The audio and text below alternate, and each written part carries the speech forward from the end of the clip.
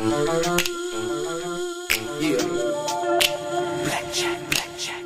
Life is like game of cards. It's not what you dealt, but how you play it. Yeah. Blackjack, blackjack. Play each situation correctly. Mm. I remember they used to laugh at a brother. Welcome back, guys. Welcome back. It's your boy Delray Richardson, platinum songwriter, platinum artist. Uh, welcome back to Straight Game TV. I appreciate your time. Thank you for tuning in. Hit the like button, hit the share button, uh, and, and hit the bell for the notification so that you can be uh, first on point to check out this new uh, uh, information and this good game that I'm dropping to you.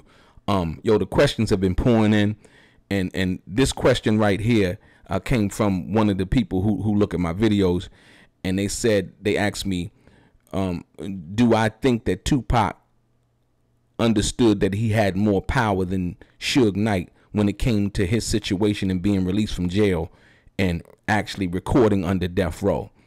And the answer to that question is yes and no. Um, when Tupac was released from jail, I don't think he understood that. And if he did, he played it real low and was real humble about the situation. Um, but as time went on, after he released All Eyez on Me, and things, you know, money started to be made, uh, you know, records started to sell. You know, you got the number one record in the country, or should I say, in the world at that particular time.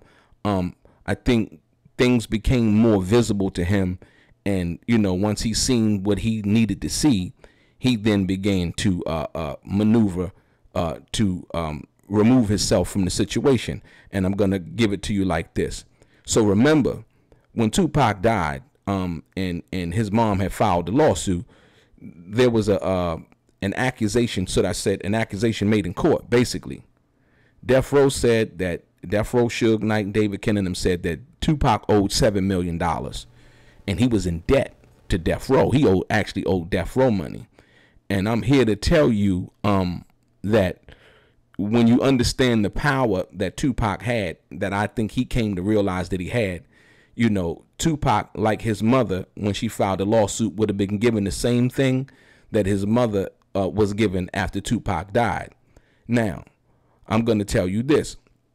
So, when Tupac died in, uh, it was in uh, November, the November 1st of 1996, um, uh, they had a meeting, um, and and they basically drew paperwork up, um, because Tupac's mom had basically um, filed a cease and desist once again that they couldn't release the Machiavelli album, right?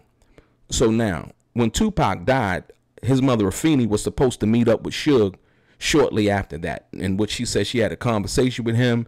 They were going to meet up and you know, you know, get this situation handled and so on and so forth. So Afeni and her attorney, they waiting on this particular day for Suge to show up. So Suge doesn't show up to the meeting. And, you know, Afeni said she had told her attorney, like, well, damn, you know, I thought, you know, he said he was going to show up, but he didn't show up, right? Why didn't he show up? The reason why Suge Knight didn't show up to that meeting is because he didn't have the uh, legal reason to show up. He didn't have the uh, contractual fortitude, should I say, to show up. He didn't have the law on his side or the ability to show up because he didn't have the contract that he would needed to display to Afeni and her attorney that would give him the rights to the things that he said that he had the rights to. Now, so at that particular time, Suge was free and he could have showed up.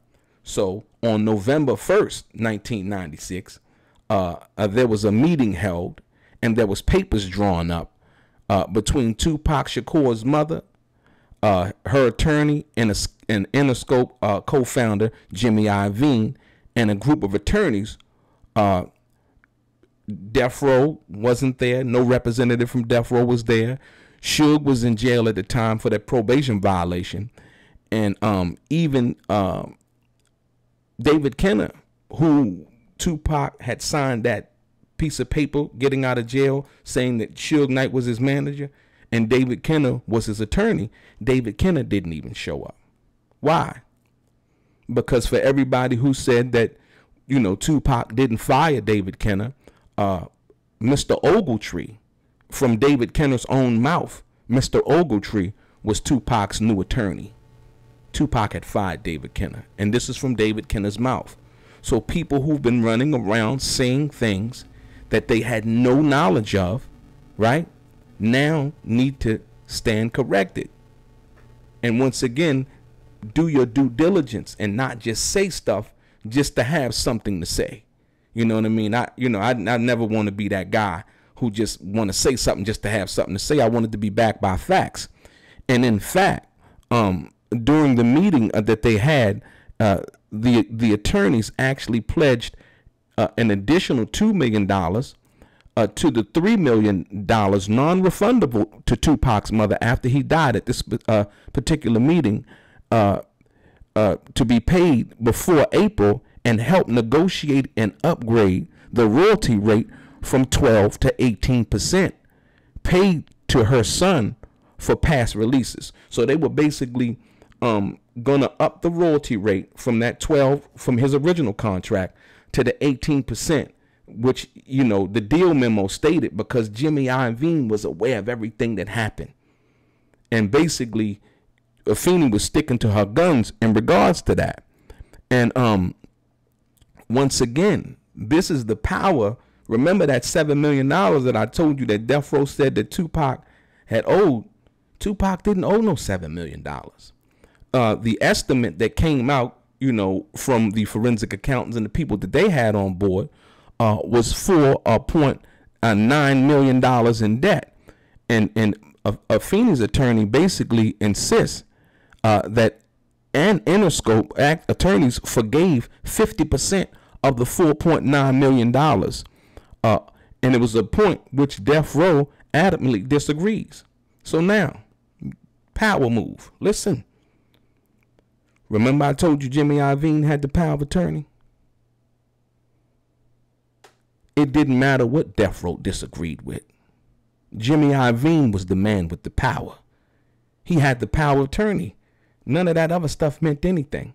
So they basically forgave the four point a fifty percent of the four point nine million dollars that they said that Tupac was in debt.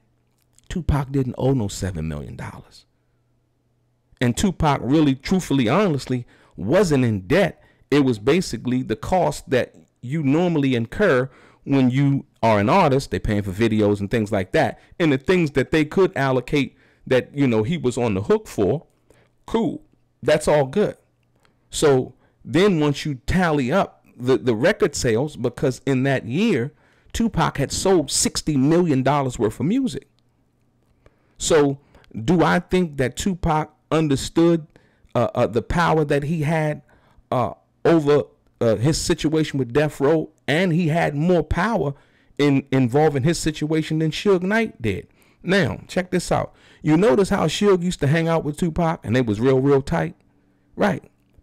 Suge knew that Tupac had the power, and Tupac, I think he knew, but Tupac was basically playing the role that he needed to play in order to what pay the bail money back, sell these records, get these three albums done because the three albums he did not owe to Death Row. Those three albums he owed, he owed to Interscope.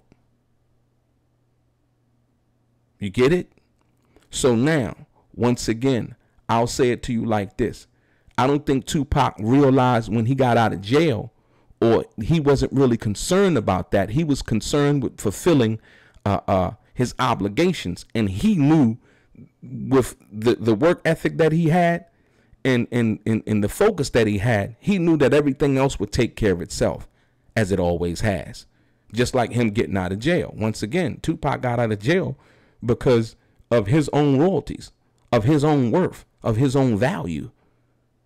Like I said, once again, so when you understand that and understand everything else that that like I said that came into to play, you know, um, you know, if if it wasn't for um Jimmy Iovine, you know, nothing would have happened. You know, basically saying um it was Jimmy Iovine who took the lead in getting the ball rolling to straighten this mess out.